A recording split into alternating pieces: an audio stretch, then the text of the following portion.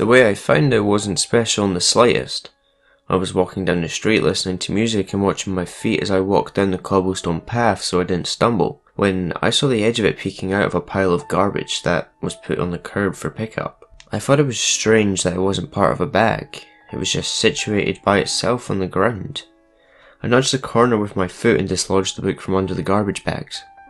It was nothing special to look at either, just a simple black notebook with an elastic strap keeping everything in place and closed tightly. I threw it in my bag and continued on my way home. It was cold and I wasn't about to stop in the middle of the street on a February evening to read a notebook I'd found in the garbage pile. That sentence alone sounds absurd. I didn't even remember the book until the next day. It was a Saturday and I was cleaning my house and decided to clean out my bag as well. I opened the bag and it was the first thing I laid my eyes on. Cursing my forgetfulness from the day before, I put my tidying on hold and grabbed the book with a cup of tea and sat on my couch.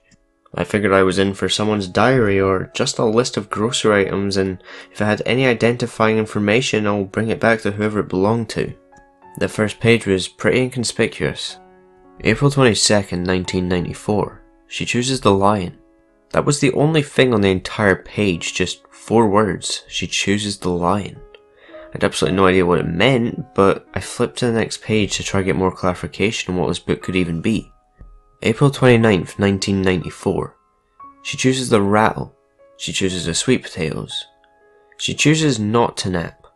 At this point, I'm getting a little confused, but thanks to some of the diction, I figured out this must be about a baby. I thought maybe it's a baby book.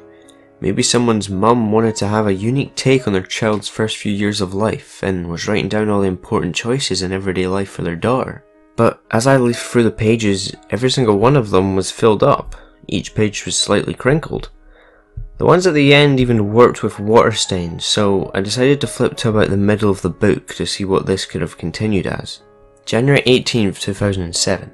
She chooses the blue shirt. She chooses the black jeans. She chooses the white sneakers. She chooses to walk to school. She chooses to ignore the homeless man on the street.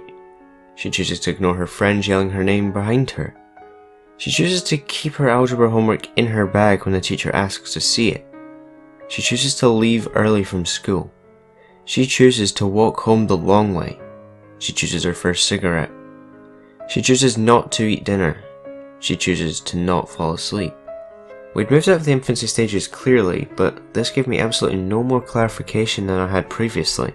It couldn't be this girl's mother writing about her life. How would she know about the algebra homework and a presumably 13 year old girl definitely wouldn't tell her mother she smoked her first cigarette.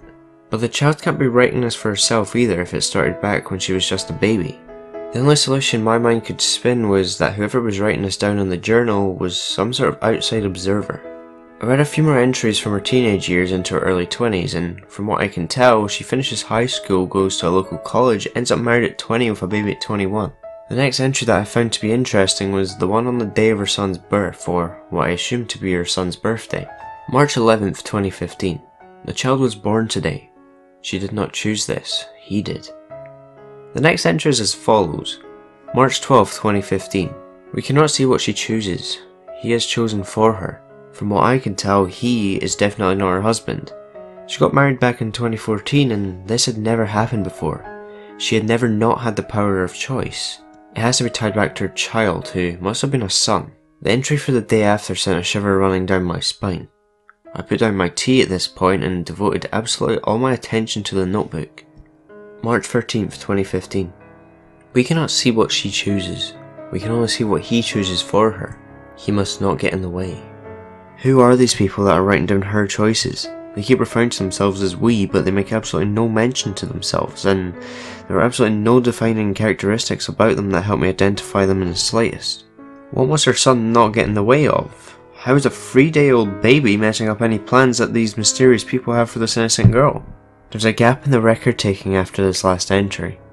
Clearly, the son affected their vision of our protagonist in the story, and they were unable to record any of her choices of the day but it does pick up again just this week. I'm going to outline the week as I see it.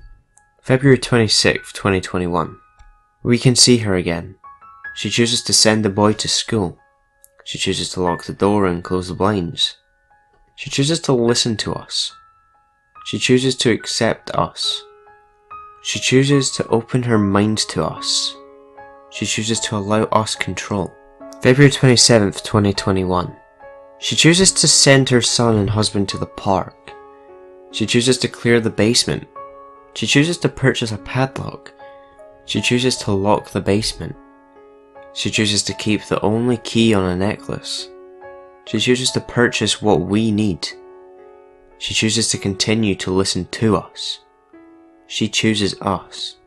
February 28th, 2021. She chooses to pretend to be ill when her husband asks about church. She chooses to tell them to go without her. She chooses to pretend to be asleep until the car leaves. She chooses to get dressed. She chooses to go to the basement.